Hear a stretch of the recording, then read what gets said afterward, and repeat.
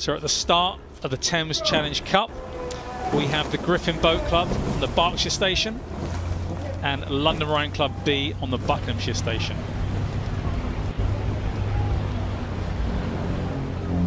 So as both crews head off the start, we've got Griffen Boat Club.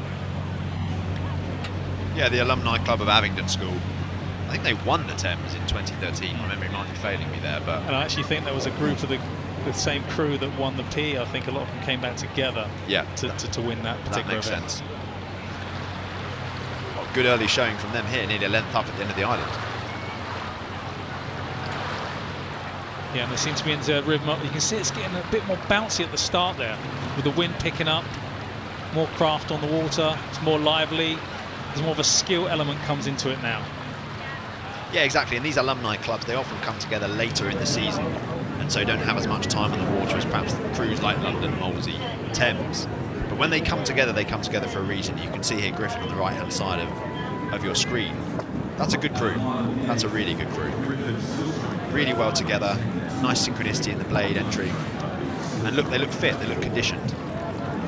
And that's what you said, because they've come from a same location, they've learned the same process of the way they row.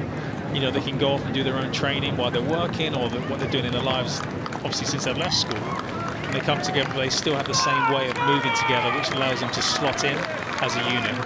Yeah, exactly. Abingdon are a production line of talent in junior rowing. And these boys will probably be of the age where they remember Abingdon winning three consecutive Princess Elizabeth Challenge Cups. That was an impressive era. That was super impressive. And as they come along the enclosures now, with the lead over London Rowing Club B.